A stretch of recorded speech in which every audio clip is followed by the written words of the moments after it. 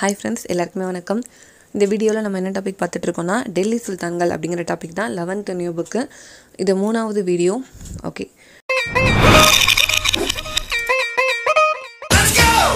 So Delhi சுல்தான்கள் அப்படின்னா அஞ்சு வம்சம் இருக்கா? அதில் அடிமை வம்சம் வந்து பார்த்து முடிச்சாச்சு.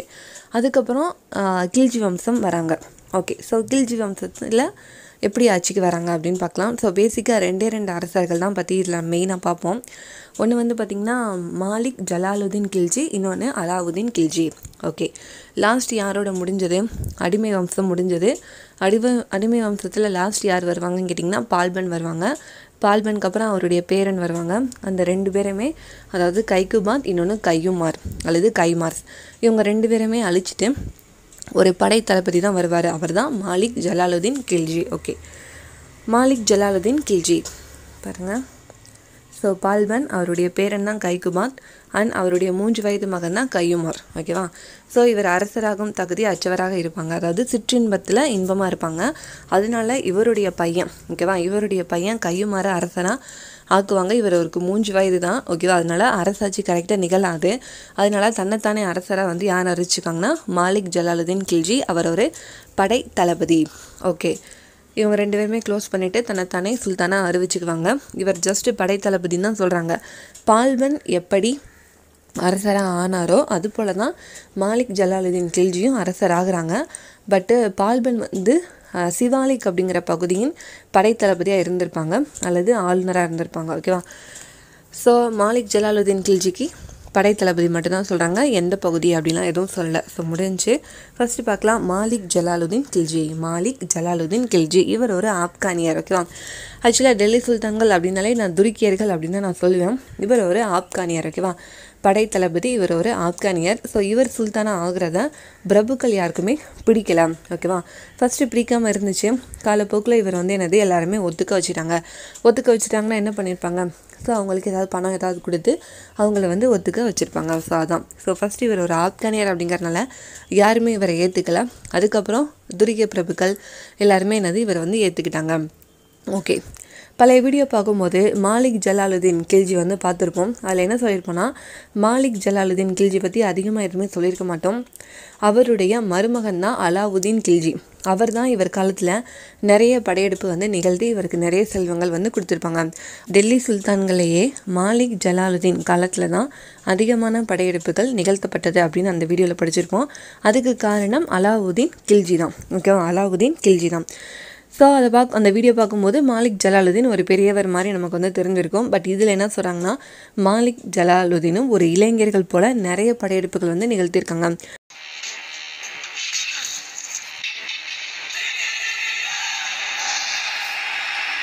மாலிக் ஜலாலுதீன் கில்ஜி இவர் ஒரு ஆப்கானியர். ஆக்சுவலாக டெல்லி சுல்தான்கள் எல்லாருமே துர்க்கிய வம்சத்தை சார்ந்தவங்க தான். இவர் வந்து பார்த்திங்கன்னா ஒரு ஆப்கானிய படைத்தளபதி. ஸோ இவர் சுல்தானாக ஆகிறது வந்து துருக்கிய பிரபுக்கள் வந்து விரும்பலை. ஃபஸ்ட்டு விரும்பலை அதுக்கப்புறம் இவர் வந்து எல்லாருமே சமாளிச்சிட்டாங்க. ஓகேவா ஸோ அது ஒன்று தொண்ணூற்றி ரெண்டில் ஓகேவா பன்னெண்டு தொண்ணூற்றி ரெண்டில் மங்கோலிய படையை பின்வாங்க வைத் வைத்தாராம். ஓகேவா பன்னெண்டு தொண்ணூற்றி ரெண்டில் மங்கோலிய படையெடுப்பை பின்வாங்க வைத்தார். ஸோ அதிலிருந்து இவருடைய திறமை வந்து தெரிஞ்சிருக்கணும். ஏன்னா மங்கோலியர்கள் மங்கோலியர்கள் தான் ரொம்ப அச்சுறுத்தும் ஒரு இனமாக இருந்தாங்க நம்மளுடைய வட இந்தியாவுக்கு அவங்களையே பின்வாங்க வச்சிருக்காரு இந்த மாலிக் ஜலாலுதீன் கில்ஜி ஓகே.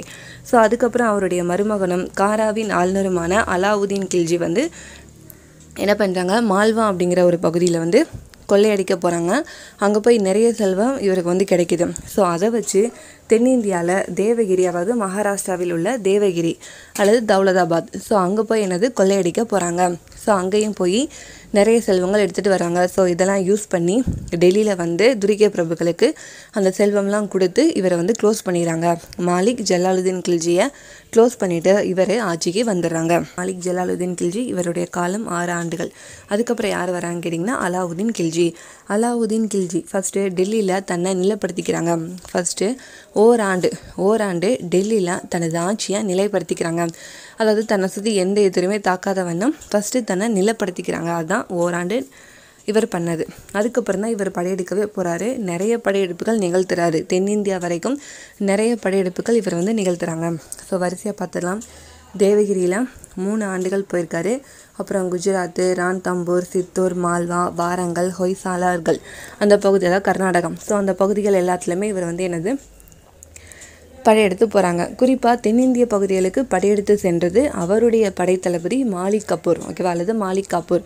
அவர் தான் படையெடுத்து சொல்கிறாங்க தென்னிந்தியாவுக்கு படையெடுத்து சென்றது அவருடைய தளபதி. மேபி வட இந்தியாவில் அலாவுதீன் கில்ஜி படையெடுத்திருக்கலாம். ஓகே. இதில் வந்து பார்த்திங்கன்னா தென்னிந்தியாவில் அவருடைய முதல் இலக்கு அப்படின்னு கேட்டிங்கன்னா அது வந்து தேவகிரி தான். தென்னிந்தியாவின் முதல் இலக்கு அப்படின்னா அது வந்து தேவகிரி அப்படிங்கிற பகுதி தான். அங்கே தான் மூணு முறை அவர் படையெடுத்து படையெடுக்க நிகழ்த்தியிருக்காரு. ஓகே. ஸோ பேசிக்காக தென்னிந்தியாவில் படையெடுத்து சென்றது மாலிக் காப்பூர். அலாவுதீன் கில்ஜியினுடைய நம்பிக்கைக்குரிய ஒரு படைத்தளபதி தான் இந்த மாலிக் காப்பூர். ஓகே. அடுத்து வந்து பாருங்கள் இந்த வாரங்களில் வந்து காகத்தியர்கள் காகத்திய அரசர் பிரதாப ருத்ரனுடன் வெற்றி பெற்றிருக்காங்க. ஹொய்சால அரசர் மூன்றாம் வீர வல்லாளனுடன் வெற்றி பெற்றிருக்காங்க. ஸோ அதெல்லாம் போட்டிருக்காங்க. அதுக்கப்புறம் நம்மளுடைய தமிழ்நாட்டில் சிதம்பரம் வந்திருக்காங்க திருவரங்கம் வந்திருக்காங்க மதுரை வந்திருக்காங்க. அதுக்கப்புறம் அதாவது என்னது? பேரிடர்னால் ஓகேவா? மழை வெள்ளத்தினால் என்ன பண்ணுறாங்க அப்படியே திரும்பி போயிறாரு. பதிமூணு பதினொன்றில் டெல்லி திரும்பினார். யார்? மாலிக் காப்பூர். ஏன்னா அவர் தான் தென்னிந்தியாவில் படையெடுத்து வந்தவர். பதிமூணு பதினொன்றில் டெல்லி திரும்பினார் மாலிக் காப்பூர். ஓகே. மாலிக் ஜலாலுதீன் கில்ஜியையும் அலாவுதீன் கில்ஜியையும் ஒரு கம்பேர் பண்ணிக்கலாம் ஓகேவா ஸோ இவர் என்ன தான் கொஞ்சம் வயசில் இவருக்கு மூத்தவராக இருந்தாலும் ஓகே இவரோட பெரியவர் தானே இருந்தாலும் மங்கோலிய படையெடுப்பையே பின்வாங்க வச்சுருக்காங்க ஓகேவா ஆனால் அலாவுதீன் காலத்தில் மங்கோலியர்கள் பெரும் தா தாக்குதல் வந்து நடத்தியிருக்காங்க ஓகேவா ஸோ பாருங்கள் பன்னெண்டு தொண்ணூற்றி ரெண்டில் மங்கோலியர்கள் டெல்லியை வந்து தாக்கியிருக்காங்க. டெல்லியை தாக்கியிருக்காங்க. அதை நம்ம வந்து எனது தடுக்கவே முடியல. அதுக்கப்புறம் பதிமூணு ஜீரோ அஞ்சில் தோஹா பகுதி வழியாக வந்து டெல்லியை தாக்கியிருக்காங்க. அதில் நம்ம வந்து என்னது அவங்கள வந்து தடுத்துட்டோம். ஓகேவா அலாவுதீன் கில்ஜி வந்து தடுத்துட்டாங்க. அப்புறம் பதிமூணு ஜீரோ ஏழுலேருந்து ஜீரோ எட்டு அந்த காலத்தில் வந்து மறுபடியும் டெல்லியை தாக்கியிருக்காங்க. அப்போ என்ன பண்ணுறோம் அதுதான் கடைசியாக மங்கோலியர்கள் வட இந்தியாவை தாக்கியது. அதுக்கப்புறம் இவங்க இனிமேல் டெல்லியை தாக்கக்கூடாது அப்படிங்கிற எண்ணம் வர்ற அளவுக்கு நம்ம அவங்களுக்கு பதிலடி கொடுத்துட்டோம் அப்படின்னு சொல்லியிருப்பாங்க. ஃபஸ்ட்டு அலாவுதீன் கில்ஜி முதல் ஓராண்டு டெல்லியை ஃபஸ்ட்டு பலப்படுத்திக்கிட்டாங்க. அதுக்கப்புறம் டெல்லியை தாண்டி நிறைய பகுதிகளை கைப்பற்ற ஆரம்பிக்கிறாங்க. இப்போ ஓகே கைப்பற்றின வரைக்கும் போதும். இனிமேல் நிர்வாகம் பண்ணலாம் அப்படின்ட்டு தன்னுடைய ஆட்சி பகுதியை இவர் கவனிக்க ஆரம்பிக்கிறாங்க. என்னன்னா துருக்கிய பிரபுக்கள். துருக்கிய பிரபுக்கள். நம்ம அந்த நாற்பதின்மர் குழு பார்க்கும்போதே பார்த்துருப்போம். கியாசுதீன் பால்பன் தான் இந்த நாற்பதின்மர் அப்படிங்கிற குழுவை ஒழிப்பாங்க. அதுபோல் அலாவுதீன் கில்ஜி ஒற்றர் படையை வந்து உருவாக்குவாங்க. இந்த துருக்கிய பிரபுக்கள் என்னென்ன கள்ளத்தனம் பண்ணுறாங்க அப்படிங்கிறத பார்க்குறதுக்காக ஸோ அதனால் இவருக்கும் பிரபுக்களுக்கும் ஆகாது. ஸோ இந்த பிரபுக்கள் வந்து அரசியலில் ஈடுபடுறதுக்கு என்ன காரணம் கேட்டிங்கன்னா அவங்களுக்கு அதிகமான செல்வம் அவங்கக்கிட்ட குவிஞ்சு கிடக்கு. அதனால தான் இவங்க வந்து என்னது அரசருக்கு ஈக்குவலான நிலைக்கு வர பார்க்குறாங்க அதனால என்ன பண்ணுறாங்க ஒரு பிரபு அப்படின்னா அவர்கிட்ட இவ்வளோ செல்வம் தான் இருக்கணும் அப்படிங்கிற மாதிரி விதிச்சு அவங்கக்கிட்ட இருந்து செல்வம் வந்து பறிக்கப்படுது ஃபஸ்ட்டு அதுக்கப்புறம் பிரபு குடும்பங்களுக்கு இடையே ஒரு திருமணம் ந- நடத்தணும் அப்படின்னா சுல்தானுடைய அனுமதி வாங்கணும் ஓகேவா சுல்தானுடைய அனுமதி வாங்கணும். அதுக்கப்புறம் பரம்பரை பரம்பரையாக கிராம அலுவலர் உரிமை இருந்த அந்த உரிமை பரம்பரை உரிமை பறிக்கப்படுது அப்படின்னா என்னது? அதாவது ஒரு பகுதி இருக்குன்னா அந்த பகுதிக்கு ஒரு தலைவர். அவர் தான் கிராம நிர்வாக அலுவலர் அப்படிங்கிற மாதிரி வச்சுக்கலாம். இப்போ அவருக்கப்புறம் அவருடைய பையன். அதுக்கப்புறம் அவங்களுடைய வாரிசுகள் தான் வர மாதிரி இருக்குது அதுதான் பரம்பரை. அந்த அந்த உரிமையை வந்து தடுக்கிறாங்க. இந்த பகுதிக்கு இப்போ ஒரு கிராம நிர்வாக அலுவலர் இருக்காருன்னா அவருக்கு பின்னாடி அந்த இடத்துக்கு யார் கிராம நிர்வாக அலுவலராக வரணுமோ அது அரசர் தான் நியமிப்பார். அந்த குடும்பத்திலேருந்து வரமாட்டாங்க. ஓகேவா ஸோ அந்த மாதிரி மாற்றுறாங்க இன்னொன்று இந்த கிராம நிர்வாக அலுவலருடைய ஒரு முக்கியமான உரிமை தான் விவசாயிக்கிட்டேருந்து நிலவரி வாங்குறது. அதையும் இவர் வந்து என்னது? நீக்கிறாங்க. நீங்கள் வந்து வாங்க வேணாம். டைரெக்டாக உழவர்கள் அரசர்கிட்டேயே செலுத்தட்டும் அப்படிங்கிற மாதிரி என்னது கொண்டு வந்துடுறாங்க உழவர்களிடமிருந்து நேரடியாக நிலவரி வசூல் செய்யப்பட்டது. ஸோ அந்த உரிமையும் இவங்ககிட்ட இருந்து போயிடுச்சு. அதுக்கப்புறம் மது போதை மருந்து சூதாட்டம் இதெல்லாம் தடை செய்கிறாங்க பட் இந்த மது அப்படிங்கிறது மட்டுமே முழுசாக தடை செய்ய முடியல. அதனால சில தளர்வுகள் வந்து கொடுத்துறாரு அதுக்கப்புறம் வரி சுமை வந்து இருந்துச்சு. அலாவுதீன் கில்ஜி காலத்தில் வரி சுமை வந்து இருந்துச்சு. அதிகமான வரிகள் விதிக்கப்பட்டது. பட் அது ஏழைகளுக்கு அல்ல செல்வர்களுக்கு அப்படின்னு சொல்லியிருக்காங்க. அதுக்கப்புறம் அஞ்சல் அப்படிங்கிற முறை வந்து அறிமுகப்படுத்தியிருக்காரு. யார்? அலாவுதீன் கில்ஜி. அஞ்சல் முறை வந்து தன்னுடைய பகுதிகளுக்கு அறிமுகப்படுத்தியிருக்காரு. அப்புறம் படை வீரர்களுக்கு இப்போ ஒரு பகுதியை கொள்ளையடிக்க போகிறோன்னா அதில் கிடைக்கக்கூடிய அந்த செல்வத்தை பாதியாக பிரித்து கொடுத்துருவாங்களாம் ஓகேவா? இது வரைக்கும் அந்த மாதிரி தான் நடந்திருக்கு. ஓகேவா? ஆனால் இவர் என்ன பண்ணுறாரு அலாவுதீன் கில்ஜி என்ன பண்ணுறாருன்னா படை வீரர்கள் இப்போ ஒரு ஏதாவது ஒரு படையெடுப்புக்கு போனோன்னா உனக்கு ஐநூறுரூபா தான் சம்பளம். எங்கேருந்து எங்கே படையெடுக்க போனாலுமே உனக்கு ஐநூறுரூபா தான் காசு தருவேன் அப்படிங்கிற மாதிரி பணமாக தர ஆரம்பிக்கிறாங்க. ஸோ பணம் கொடுக்கறதுனால தன்னுடைய நாட்டில் அந்த ஐநூறுரூபாவுக்கு தக்கதாக தான் அந்த மக் அந்த படை வீரர்கள் வந்து போய் வாங்கி சாப்பிடணும். தங்கணும் அவங்க வசதி எல்லாமே அவங்க அந்த ஐநூறுரூபாய்க்குள்ளே தான் பார்க்கணும். அப்போ அங்கே விற்கிறக்கூடிய பொருட்களுடைய விலையும் அந்த அளவுக்குள்ளே தான் இருக்கணும் ஓகேவா அதிகமாக இருக்கக்கூடாது இல்லையா? ஸோ அதனால அடுத்து அதுக்கு இவர் வந்து சில கட்டுப்பாடுகள் விதிக்கிறாரு. இந்த வணிக ரீதியாக கள்ள சந்தை பொருட்களை பதுக்கிறது பொருட்களை பதுக்க வச்சாங்கன்னா அந்த பொருள் வந்து கிடைக்காது இல்லையா மக்களுக்கு? ஸோ அதனால் விலைவாசி கூடும். ஸோ இதெல்லாம் வந்து கண்டுபிடிக்கிறதுக்காக ஒற்றர் ஒற்றர்கள் வந்து உருவாக்குறாங்க ஒற்றரை உருவாக்குறாங்க. அதுக்கப்புறம் இப்போ ஏதாவது ஒரு பொருளினுடைய எடை வந்து குறைவாக இருந்துச்சுன்னா அந்த விற்கக்கூடிய வணிகருடைய உடம்புல இருந்து அதே அளவுக்கு எடை உள்ள சதையை வந்து வெட்டி எடுத்துருவாங்களாம். இதுவும் இவர் காலத்தில் தான் அறிமுகப்படுத்தப்பட்டிருக்கு. ஓகே ஸோ இது வந்து பார்த்திங்கன்னா அவருடைய படையெடுப்புகள் அலாவுதீன் கில்ஜி தான் தென்னிந்தியா முழுவதுமே படையெடுத்து செஞ்சுருப்பாங்க. ஓகேவா யாருடைய காலத்தில்? டெல்லி சுல்தான்லேயே அதிகமான படையெடுப்பு நிகழ்த்தியவர் இவர். பட் யாருடைய காலம்னு கேட்டாங்கன்னா அது மாலிக் ஜலாலுதீன் கில்ஜி காலத்தில். இது பழைய வீடியோவில் சொல்லியிருப்பேன். இந்த புக்கில் இதை பற்றி சொல்லலை அப்படின்ட்டு ரான் தம்பூர் சொல்கிறாங்க அது வந்து ராஜஸ்தான் இது வந்து குஜராத்து இது வந்து தேவகிரி இது மத்திய பிரதேசம் இது வந்து வாரங்கல் அதாவது தெலுங்கானா இது வந்து சித்தூர் ஆந்திரா இது வந்து கர்நாடகா ஓகேவா ஹொய்சாளர்கள் ஸோ ஃபஸ்ட்டு வந்து பார்த்திங்கன்னா பன்னெண்டு தொண்ணூத்தாறு பன்னெண்டு தொண்ணூத்தொம்போது. ஃபஸ்ட்டு தேவகிரி அதுக்கப்புறம் குஜராத். இது ஒன்று முடிஞ்சுச்சு. அதுக்கப்புறம் திரும்பவும் குஜராத்து அப்புறம் ராஜஸ்தான். இப்படி போகிறாங்க பதிமூணு அது ஆயிரத்தி முந்நூறு ஆயிரத்தி முந்நூற்றி ஒன்று ஸோ குஜராத்தில் திரும்பவும் அப்புறம் ராம் தன்பூர். ஓகே ஸோ ஒன்றுக்கு அப்புறம் என்னது? மூணு. அங்கேருந்து இங்கே வந்துடுறாங்க ஆந்திரா சித்தூர். மூணுக்கு அப்புறம் நாலு. மறுபடியும் தேவகிரி.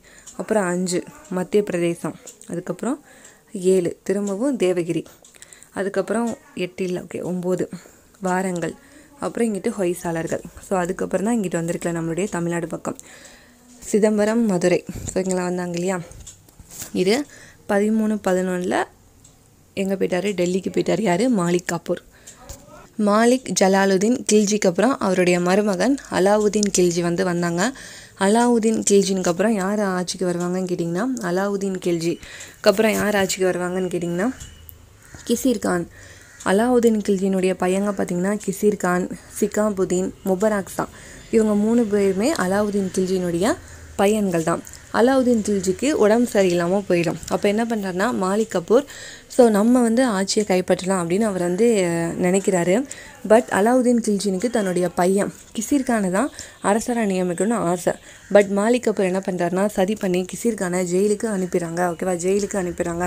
அதுக்கப்புறம் துருக்கிய பிரபுகள் அடங்கிய ஒரு கூட்டத்தை நிகழ்த்துறாங்க. அலாவுதீன் கில்ஜிக்கு ரொம்ப உடம்பு சரியில்லை. அவர் வந்து எதுவுமே பேச மாட்டேங்கிறாங்க. பட் அவர் வந்து ஒரு ஆணைய மாதிரி எழுதி கொடுக்குறாங்க. அதில் கிசீர்கானை தான் அரசனை ஆகணும் அப்படின்னு அவர் எழுதியிருக்காரு. பட் மாலிக் அப்புறம் என்ன சொல்லிடுறாருன்னா அடுத்த அரசராக யாரை நியமனம் செய்யணும்னா சிக்காபுதீனை தான் நியமனம் செய்யணும். அவர் வந்து பார்த்திங்கன்னா ஒரு சின்ன குழந்தை தான் ஓகேவா? அவர் வந்து ஒரு சின்ன குழந்தை தான் அவருக்கு பாதுகாவலராக மாலிக் இருப்பாங்க அப்படிங்கிற மாதிரி அந்த ஆணையை வந்து வாசிச்சிருவாங்க. அலாவுதீன் கில்ஜினால் எதுவுமே பேச முடியாதுங்கிறதுனால எல்லா துருக்கிய பிறப்புகளுமே ஓகே. ஸோ அரசர் தான் சொல்லியிருக்காங்கன்னு சொல்லிட்டு எல்லாருமே ஒத்துக்குவாங்க. ஸோ அதன்படி பார்த்தோன்னா இவர் வந்து ஜெயிலுக்கு போயிறாங்க. இவர் அரசராகிறாங்க. இவருக்கு பாதுகாவலராக அதாவது அரச பிரதிநிதியாக யார் இருக்காங்க? மாலிகாப்பூர் இருக்காங்க. ஸோ இவர் முப்பத்தஞ்சு நாட்கள் தான் என்னது அரசராக இருக்காங்க. அதுக்குள்ளே துரிக்க பிரபுகளுக்கே இது வந்து சதின்னு தெரிஞ்சு இவரை வந்து கொலை பண்ணிடுவாங்க துரிக்கிய பிரபுக்கள் இவரை வந்து கொலை பண்ணிடுவாங்க அதுக்கடுத்து ஆட்சிக்கு வர்றது முபராக்ஸா முபராக்ஸா வந்து பார்த்திங்கன்னா இவர் தானே இப்போ அரசர். அதனால் முபராக்ஸா இவருக்கு ஒரு பிரதிநிதியாக தான் வருவாங்க. அண்ட் என்ன பண்ணுவார்? இவர் தன்னுடைய சகோதரியை கொலை பண்ணிவிட்டு தன்னைத்தானே சுல்தானாக இவர் வந்து அறிவிச்சுக்கிறாங்க. முபராக்ஸா வந்து பார்த்திங்கன்னா ரொம்ப கொடூரமானவராக தான் இருப்பாங்க. ஓகே. ஸோ முபராக்ஸா வந்து என்னது? அரசராக இருக்காங்க. முபராக்ஸாக்கு அப்புறம் யார் ஆட்சிக்கு வராங்க கேட்டிங்கன்னா குஸ்ரு கான் குஸ்ரு கான் அல்லது குஸ்ரவ் அப்படின்னு சொல்கிறாங்க இவர் இவருடைய பையன் இல்லை. அலாவுதீன் கில்ஜினுடைய பையன் இல்லை.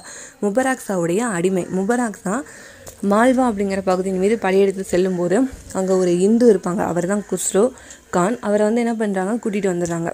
அடிமையாக அவருக்கு யாருக்கு? முபராக் சாக்கு இவரை ரொம்பவே பிடிச்சிருது. ஓகேவா? அதனால் இவருடைய அடிமையாக வச்சுருக்காங்க. அவரை ஒரு இஸ் இஸ்லாமாவும் கன்வெர்ட் பண்ணிடுறாங்க. ஓகேவா? இஸ்லாமாவும் கன்வெர்ட் பண்ணிடுறாங்க. குஸ்ரு கான் என்ன பண்ணுறாருனா அவருக்கும் ஆட்சி மேலே ஆசை வந்துடுது அதனால முபராக் சாக்கு வந்து ஒரு நல்லவர் மாதிரியே என்னது இவரும் நடிக்கிறாங்க. ஓகேவா? அவருடைய அன்பை இவர் வந்து தப்பாக வந்து பயன்படுத்திக்கிறாங்க ஓகேவா ஸோ இவர் என்ன குஷ்டுகான் என்ன பண்ணுறாருன்னா முபராக்ஸாவை கொலை பண்ணிட்டு குஷ்டுகான் வந்து ஆட்சிக்கு வந்துடுவாங்க ஓகே இப்போ அலாவுதீன் கில்ஜினுடைய ஒரு அடிமையாக இருந்தவர் தான் இந்த கியாசுதீன் துக்லக் கியாசுதீன் துக்லக் கியாசுதீன் துக்லக்கு இந்த குஸ்ரு கான் வந்து அரசராக வந்தது பிடிக்காது ஓகேவா அதனால் என்ன பண்ணுறாங்க கேட்டிங்கன்னா இந்த குஸ்ரு கானை க்ளோஸ் பண்ணிவிட்டு கியாசுதீன் துக்லக் வந்து என்னது அரசராக வந்துடுறாங்க. ஸோ அலாவுதீன் கில்ஜி காலத்தில் அடிமையாக ஒரு பகுதிக்கு ஆளுநராகவோ தளபதியாகவோ இருந்தவர் தான் கியாசுதீன் அல்லது காசி மாலிக் ஓகேவா பட் இவருக்கு குஸ்ரு கான் வந்து ஒரு டெல்லி சுல்தானாக வந்தது வந்து பிடிக்காம இந்த கியாசுதீன் துக்லக்கும் முகமது பின் துக்லக் இவருடைய பையன் வருவாங்க ஓகேவா அவங்க எல்லாருமே வளர்ந்து தான் இருப்பாங்க இந்த டைமே எல்லாருமே சதி பண்ணி என்னது இவரை வந்து ஒழிச்சு கட்டிடுறாங்க. ஒழிச்சு கட்டிட்டு அடுத்த அரசராக கியாசுதீன் துக்லக் வந்து துக்லக் வம்சத்தை ஆரம்பிப்பார். ஸோ இவ்வளோதாங்க கில்ஜி வம்சம்.